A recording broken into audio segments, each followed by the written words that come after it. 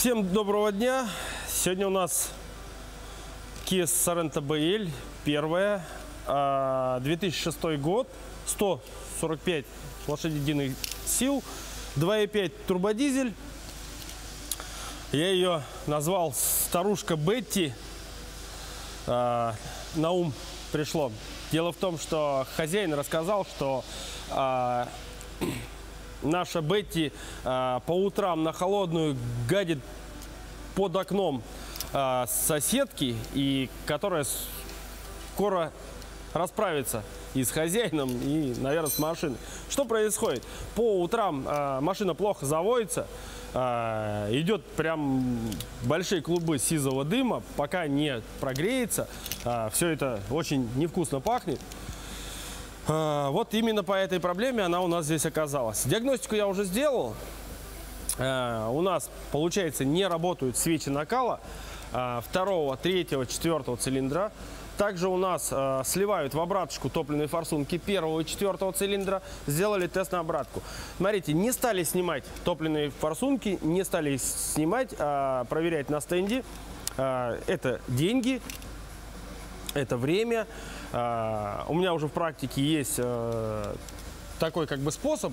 А, Если форсунка а, неисправна, первое, что она делает, она начинает скидывать в обратку. То есть, если что-то происходит с распылителем, рас- разбух распылитель, забился распылитель, а, допустим, не знаю, любое, что бы там ни произошло, то есть а, форсунка сразу начинает скидывать в обратку. Сделали тест на обратку, показывает, что а, и также на горячую, на горячую, чтобы запуститься, она уже делает 2, 3, 3,5 оборота чтобы завестись.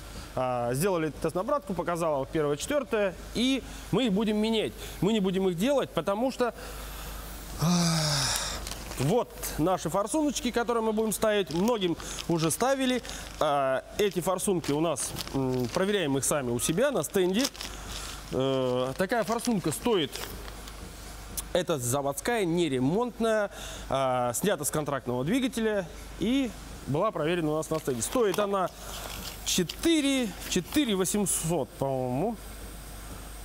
А, свеча накала, не то, не то, не то. Сейчас, секундочку. Наверное, уточню. Да, есть такое. Есть такое. Форсунка топливная стоит 4 400. А, то есть полностью исправная. Все с гарантией. То есть мы ее просто ставим. И лучше этой форсунки, э, то есть э, ее параметров на данный момент, боюсь, что ни один из мастеров за эти деньги, за эти деньги э, не сможет сделать вашу старую. То есть э, возьмут 5, 7 и сделают как-нибудь более-менее. Поэтому э, в каких-то случаях, да, есть, когда форсунка стоит там 40-50 тысяч, э, тогда есть смысл сделать ремонт хоть какой-то, чтобы как-то. Э, в этом случае нет смысла ремонт делать. Старые выкинуть, другие поставить. И они будут работать и служить долго и счастливо. По форсункам понятно, у нас производится просто замена, прописывать их не надо. А, вторая проблема у нас это замена свечей накала. Смотрите, свечки я попробовал, сорвал. Вторую, третью, четвертую, потому что к ним есть доступ. А, на первой Sorento BL а, для того, чтобы сменить свечу первого цилиндра, необходимо снять генератор. Даже он, в принципе, не мешает. Не мешает. Мешает вот этот кронштейн. Вот этот кронштейн для снятия двигателя. Если нам нужно поставить или снять, или вообще просто переместить двигатель, у нас есть две а, проушины. А, то есть передняя и задняя. На 170 сил, а, уже рестайлинг Sorento, они взяли и на этой проушине внизу сделали вырез.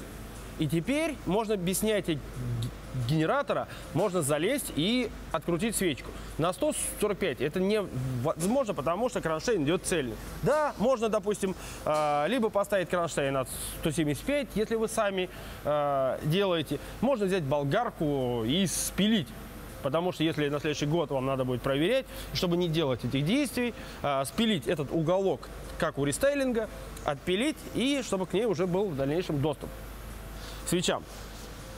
Также будем менять а, патрубок воздушного корпуса воздушного фильтра. Вот он впускной. Здесь все было в масле. А, мы его будем менять. Смотрите, что он тут натворил. А, Вот этот шланчик, вот этот шланчик э, вентиляции картерных газов от клапанной крышки. Вот он даже здесь весь лопнул. Он прям вот, ну вот колом стоит. Вот так он выглядит. А, и тем самым, что он стал жесткий, двигатель ходил, двигался, и он вот так порвал. И вот у нас появилась такая дырка. От датчика расхода воздуха до турбокомпрессора и уже от турбины полностью по патрубкам и интеркулеру до пустного коллектора не должно быть подобных дырок.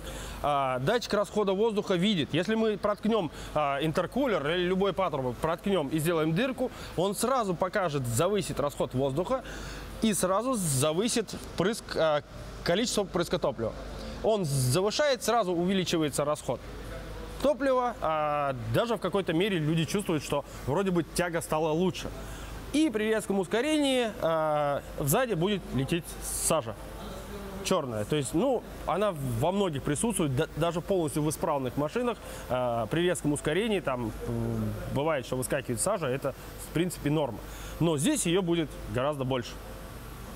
Этот патрубочек у нас есть в наличии. Цена, конечно, его кусается. 5700. А, но он будет новый, оригинальный. Мы его будем ставить новый. Вот по этому шланчику. Заказать его не получается под заказ, так как машинка старенькая. Вот можно взять шланг системы охлаждения, оригинальный, корейский.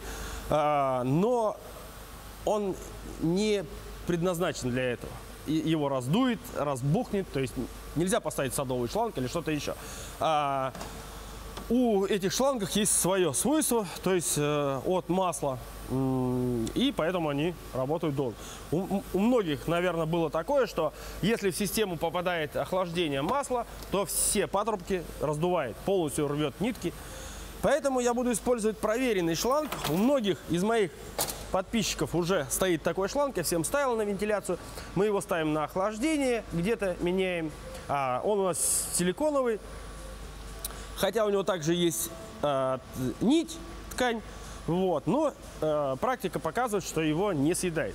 А, во-первых, он достанется клиенту бесплатно, во-вторых, э, не было еще уже более трех лет, то есть мы используем эти шланги, а может быть и 4 года. И пока нареканий на них не было. То есть вот шланг поставим по размеру, хомуты используем свои же старые, а, оттуда с того патрубка поставим, и все будет работать. А сейчас приступим к замене непосредственно уже свечей. Заранее я их немного залил растворителем ржавчины. Сейчас еще раз побрызгаю.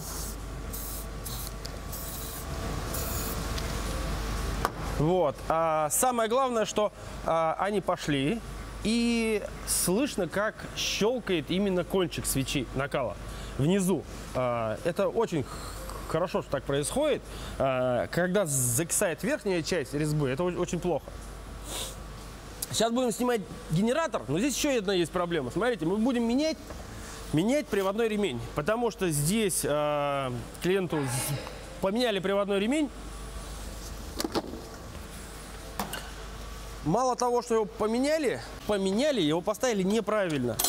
То есть э, гидронатяжитель, у него ход вообще прям маленький-маленький. И вот ремень я даже не могу снять отсюда.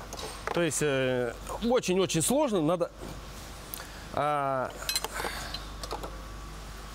Во-первых, а, сам натяжитель, когда мы ставим короче ремень, находится под нагрузкой. То есть он прям в своем вот э, максимальном пике работает. Во-вторых, э, нагрузка также вся передается от ремень, по идее, перетягивается и передается по всем роликам. И тут уже вопрос, сколько все это будет работать.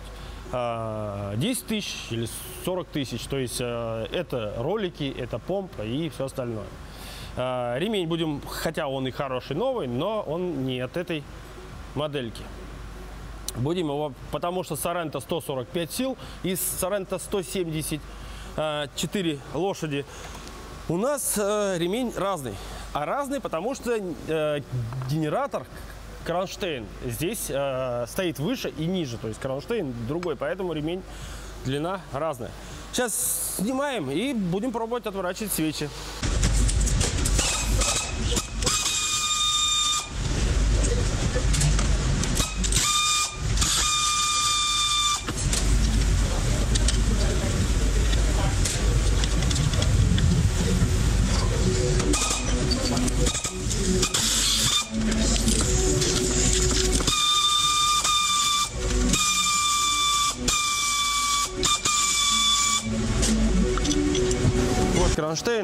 Это кронштейн над 170. Здесь вот мы видим, что даже сняв генератор, сняв генератора, то есть кронштейн, мы все равно не можем открутить свечу накала. Сейчас мы открутим кронштейн и визуально посмотрим, что там, что здесь лишнего.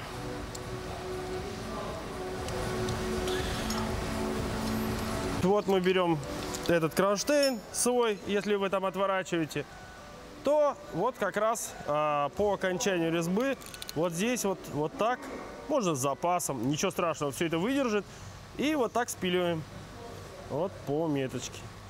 И все, и у вас будет доступ. То есть вот это оригинальный от 170, то есть и вот видим разницу как сделано. То есть он прекрасно держит двигатель, ничего не отваливается, не отрывается. Но я пилить не буду, потому что у меня есть кронштейн. Я сейчас поставлю. Когда у меня не будет кронштейна, да, я отпилю. А, это у меня остался от контрактного двигателя. Поэтому старый, который я пометил сейчас, я его брошу в ящик. И если будет необходимость когда то я отпилю его. Бывает, бывает, сейчас смотрите момент, бывает, что люди вообще его откручивают, выкидывают. А, можно сделать так, можно снять и убрать его вообще. Потому что мотор мы снимаем не каждый день. А вот свечи накала вполне возможно, что каждый год или через год мы достаем их. Либо потому что меняем, либо для того, чтобы обслужить.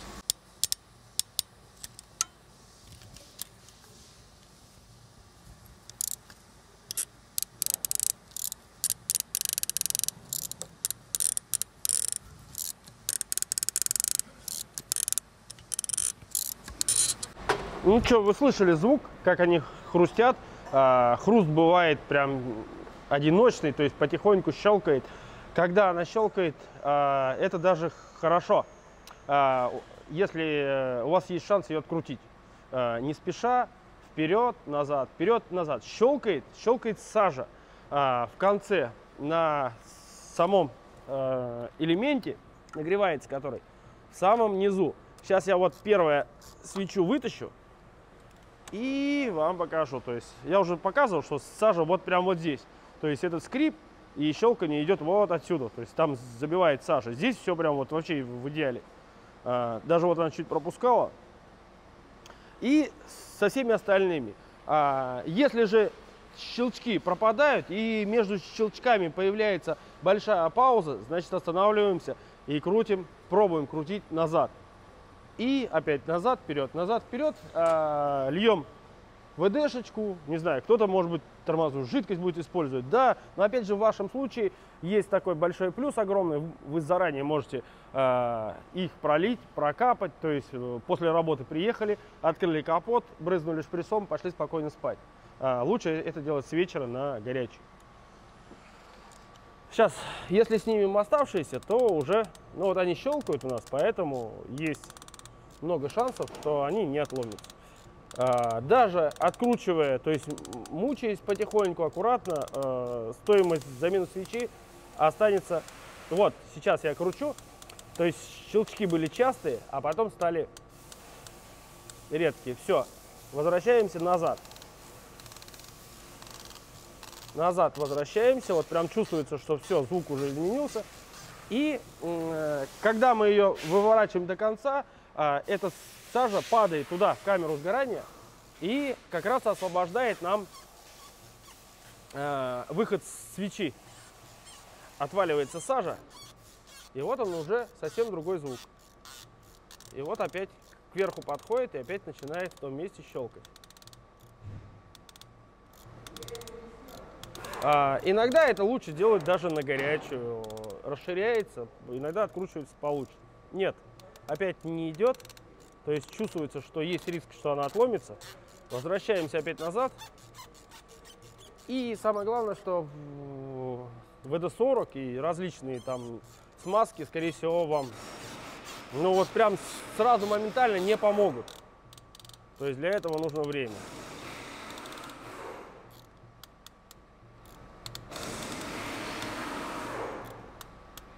Ну вот аккуратненько, аккуратненько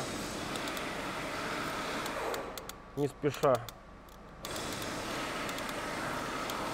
То есть, ну, вообще, на самом деле нужно, а, э, чувствовать этот кончик, э, потому что прежде чем сломаться или щелкнуть, то есть он играет такую, э, когда резьба чистая, и мы чувствуем, как он изгибается, напругу его.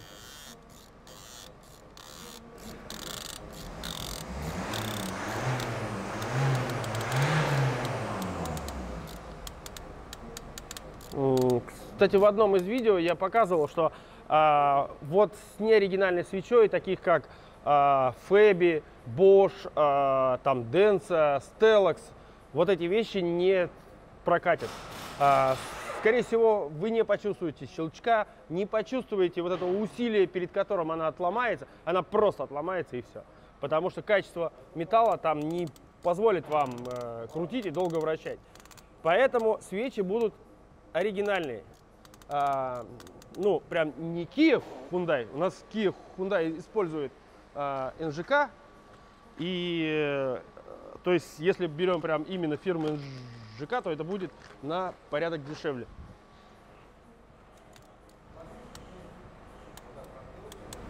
Ну вот в конце прям вообще не хочет. Ладно, сейчас зальем, пусть постоит. А, Переходим к следующей. Также свеча, когда плохо идет, она нагревается. И алюминий это прям очень сильно чувствует. Э, Он очень сильно передает тепло, поэтому э, стоит ее оставить, залить и заняться другой свечой другого цилиндра. Вот, допустим, четвертая прям чуть-чуть пощелкала, вроде пошла пока. Еще есть такой момент, а, свеча, которая э, работает, э, на ней обгорает эта сажа, э, она обычно откручивается лучше всего. Ну вот, к примеру, у нас была первая рабочая, все остальные неисправны. Ну, вот эта гадость как раз сейчас вот нам не давала открутиться. То есть здесь с резьбой все в порядке. Сколько бы я ни брызгал ВДшкой, вот она прошла только вот до сюда чуть-чуть. А, да, нужно время, то есть нужны часы, а, может быть даже дни. Если закисло, то для того, чтобы все отошло, нужно время. Так, возвращаем э, назад, возвращаю. Я сейчас вывернул, залил.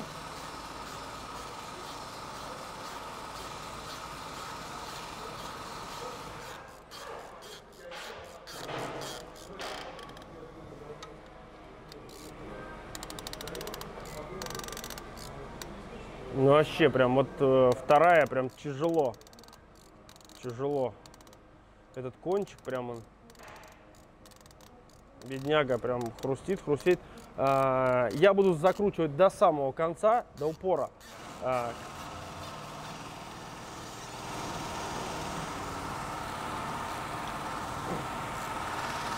Потому что закрутив до самого конца, до упора, а, как раз появляется у сажи возможность выпасть туда. То есть она выходит туда, а, у нас нагревательный элемент сам, и она осыпается. Ну что, вот помучился где-то примерно полчаса, потихоньку, не спеша, а, с помощью жидкости для ржавчины. э, Вывернул все четыре свечи. Вот визуально видим, смотрите, свеча, которая работала, а у нас получается самая чистая. Самая чистая, открутилась она без проблем, так, которая работала. Да, чуть поскрипывала, но все же. А, замучила прям реально эта свеча второго цилиндра. А, мне прям буквально прям раз 10 пришлось ее туда-обратно, не спеша потихоньку вернуть. А, четвертая тоже, в принципе, открутилась без проблем. Все, сейчас поставим новые, новые а, обработаем температурной смазкой, все закрутим, затянем. Самое главное, не забывайте, надо затягивать их тоже хорошо, потому что если затянете плохо, начнет пропускать сажу, забьет всю полость и свечу, скорее всего, выкрутить потом не получится. А, Она обломится под самый верх и надо будет сверлить и вытаскивать. В принципе, все. По форсункам топливным, я, я думаю, ничего там нет страшного. А, просто сняли, поставили другие, прописывать ничего не надо. Новые резиновые колечки, новые шайбы. И все, наверное. Так, а, сразу, наверное, уделю минутку для диванных экспертов, которые сейчас начнут сразу писать, да вот, э, вы там хотите отломать, заработать или что-то еще.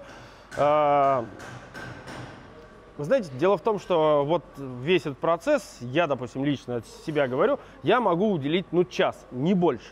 То есть час времени на откручивание четырех свечей. Да, тяжело крутить туда час, не больше, потому что я, как все нормальные люди, здесь зарабатываю. А, и мое время стоит каких-то денег. А, на тот случай, то есть, если я знаю, что они пойдут, я истрачу этот час, не вопрос. То есть, сумма от этого не изменится. Как была 1000 рублей замена одной свечи, так и будет. То есть, сумма не изменится. Неважно, буду я отворачивать это 10 минут или буду мучиться целый час. Но если я чувствую, что я смогу это сделать, я это делаю. В тех случаях, когда я понимаю, что это не открутится, а, я сразу обговариваю с клиентом. В основном а, все мои клиенты, все мои подписчики, которые здесь приезжают, они все находятся со мной рядом, я им все объясняю, как что делать. А, и если свеча не отворачивается и шансов у нее открутиться в течение этого часа нет, то советую ее оставить. Пусть у нас будет, мы там три заменим, одна будет сломана, я советую ее оставить и э, приобрести шприц, э, тормозную жидкость, и после работы, говорю, там подливать, э, и потом она уже, да, через неделю-две она открутится точно. Это уже э, пройденный этап, то есть это уже много раз было. Но э, напомню, что здесь как бы э, никто не будет ждать сутки или двое. Это работа. Э, смотрите уже как бы сами, но э, работа есть работа. То есть мы можем уделить какое-то определенное время на какие-то работы, если мы знаем, что это сделается. Если нет, то не беремся. То есть вообще даем совет, что э, как это сделать лучше, экономнее и быстрее. Ну все, всем до новых встреч. Э, надеюсь, что э, наша соседка больше не будет ругать своего соседа. Скорее всего, все будет заводиться, все будет работать. А, проверим питание на свечи накала. А, все это проверим завтра, протестируем утром. И я больше чем уверен, что все будет отлично. Пока.